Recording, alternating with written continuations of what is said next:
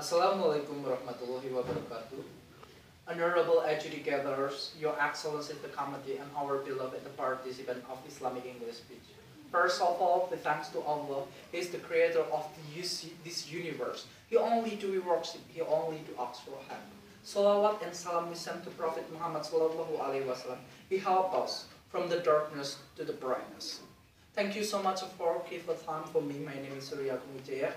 Today I will explain about the revolution of prostitution to industry creative from three point of view. I will explain all about it from three point of view. My first point of view is the disper the facts of the dispersing of gang My second point of view is prostitution from point of view of Islam. And my third point of view is the contribution of university students to change the dark era of prostitution. And the fourth is the conclusion. First, I will explain about the facts of dispersing of gang Dolly. According to Tempo.co, Dolly was a China cemetery in the era of colonialism. One of one of ex-prostitute come from natural land. Her name is Dolly van. She came from, she came to Indonesia and she put prostitute in the camp Dolly. She provided many Indonesian girls to work as a prostitute in the camp Dolly. At the first time, the girls were only for Netherlands army, but gradually it changed. Many Indonesians try prostitute come from Indonesia. And nowadays, we know that Camp Dolly is the biggest prostitution in Indonesia, especially not in Indonesia, in Asia too. And then according to Merdeka.com, 180 in 2012 they got HIV AIDS, and then it decreased in 2030. 73 prostitutes got HIV AIDS in 2030. Why? Because some houses were closed and they got socialization about sex. Sex is very dangerous, especially free sex. So they give the bad effect of sex. And then according to Republika.co.id, many young girls in the near of Gang Dolly, in the junior high school and elementary school, they work as a prostitute. This is the bad effect of prostitution in the Gang Dolly, my lovely brothers and sisters. Think about it. How many Indonesian girls, they are is very child, but they work as a prostitute. Something that it is a very dangerous they can got HIV. HIV is a hereditary disease. You know that. Hereditary disease is something that you never can cure it. It will bring from one generation to another generation, my lovely brothers and sisters. According to Tempo.co, who is the god the bigger profit of prostitution in a gang The prostitute? No. The answer is the pimps and the owner of house. The pimps and the owner of house, they got 70% from the prostitute. And then the prostitute only got 30% of her salary. So it is a very horrible thing. So you can imagine that if she worked at one night, she only got 200,000 rupiah, she only got 60,000 rupiah, and then the pimps and the owner of house, they got 140,000 rupiah. So actually, she got only a little money for her salary after the lovely brothers and sister. And then, according to Republika.co.id, Cantoli will be dispersed by 48 billion thousand rupiah. Why? Because it will change the dark era of Gang Dolly to new era. Actually, we can imagine that from this money next time, Gang Dolly will change to new era in, in the era of creative industry actually. So many across before they work as a prostitute, they can got the new jobs in there. Something that is good and something that it is lawful for them. It's not unlawful like a prostitute, I think. So more or less this is my first point of view and I will go to the next point of view. Second, I will explain about the prostitution from point of view of Islam. According to Prophet Muhammad Sallallahu Alaihi Wasallam, in the era of Prophet Isa alayhi salam, when a girl, she worked as a prostitute because her family was poor. She wanted to help her family. But when her family was died, she walked alone from one village to another village to sell herself. But she failed. Nobody cared about her.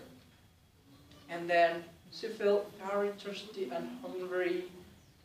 And she walked from one village to another village. And then one day she saw a well. She looked into in the well. She saw a little water in a well. She tried to put up the water from a well, use her salt, her salt and her shoes. When she got the water, she wanted to drown the water, but the dog came to her and she gave the water to the dog because the dog is thirsty. And then because this accident, she died, my lovely brothers and sisters. But God apologized her and give her opportunity go to the heaven, my lovely brothers and sisters. And then, according to Prophet Muhammad Sallallahu Alaihi Wasallam, Inna Allah ma'asobirin, indeed Allah with someone who passionately. According from this story, we know that the key of life is passion. Prostitute in a Gang Dolly, they are is only in the wrong way. Is they are is not in the way of Allah subhanahu wa ta'ala. We are as the university student, we are as the Muslim. We need to help them to bring them back to the, the right way. My lovely brothers and sisters. You are as a university students and you have opportunity to help them. And then according to Okezone.com, someday something that happened in the Gang Dolly, something is some very different. Gang Dolly got a proselytizing from Emha Ainun Nadjib, or everyone call him Cak Nun. Chaknun give a proselytizing about uh, the differences, the good and the bad way. He want to try make they are aware about this is a good and this is a bad. And a prostitute is a something bad. He want to make the art a care about prostitution is a wrong way. My lovely brothers and sisters, more or less this is my second point of view and I will go to the next point of view. Okay, I will explain about my third point of view. My third point of view is the contribution of university students to change the dark era of prostitution.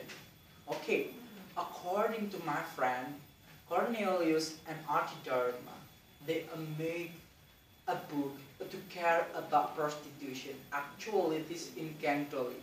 There's a book called it Dolly Kisah Pilu Yang Terlewatkan. They try uh, to share to everyone in Indonesia. This is the real life in a. They want to make everyone in Indonesia care about Gang Dolly with their a book. So many people in Indonesia, they can read this book and they can learn about Gang Dolly, what happened in the real life of, of Gang Dolly, my lovely brothers and sisters. And then, in my city, we have a non-governmental organization. It's called the God. It's not the God a singer, but this is a non-governmental organization, my lovely brothers and sisters. In my university, especially the university students, they work in this organization because they want to care about HIV AIDS in a Salatiga city. Because HIV is not only access in the bigger city, but in Isolada village, it access too. Because in the near of Salatiga, it has a like the Gang Dolly, but it's a more little. It's called a Sarirejo or Sembir. So they need to care all about them. They are a prostitute, they are got HIV, so they are aware to make they are aware about HIV AIDS is very dangerous, my lovely brothers and sisters. And then one of very a popular uh, care about HIV AIDS. Her name is Esthi Susanti Hudiono.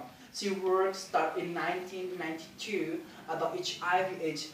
She uh, uh, teach uh, prostitute about HIV AIDS is very dangerous and you never can be cured because if you get HIV AIDS, you will bring from one years to another years. And then, according to my friend in the speakers out in Shira, they are uh, make a one of socialization about sex. The good sex, not a free sex, because a free sex will give a bad effect with you. And then, why we need to disperse gang on 8 June 2014?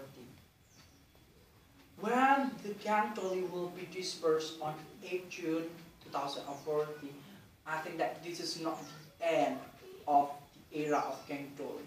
We need to keep to struggle to change their mindset about sex. They can make a prostitute in other place, but we need to give they are education. That's important. We know that Surabaya is the second biggest city after Jakarta. We know that they have a traditional food. There's a popular a traditional food.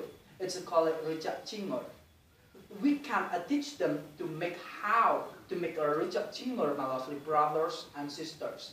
They can learn to make a rujak cingur and they can sell the rujak cingur because according to Mrs. Umbra, she can go to Mecca and perform a pilgrimage in there because she only sell rujak cingur every day. She got 50,000 rupiah for one cingur. So we can calculate it. If she a four rujak cingur, it's like one night for a prostitute work at the night. My lovely brothers and sisters. So we are as the university student, we need to help them. We need to care about them. You are as the university student, you have a chance. Don't only ask what you want to, but Use your real practice, my lovely brothers and sisters. In my conclusion, the revolution of prostitution industry created. We are, as the university student, we cannot phobia about prostitution, about Indonesian problems. So we need to keep the struggle. We study every every time we need to give your best for this country because the founding father have a struggle. If you are is afraid about this country, you never know what will happen in the future in this country, my lovely brothers and sisters. Ask not what your country can do for you, but ask what you can do for your country. That's all. Thank you. Wassalamualaikum warahmatullahi wabarakatuh. Waalaikumsalam.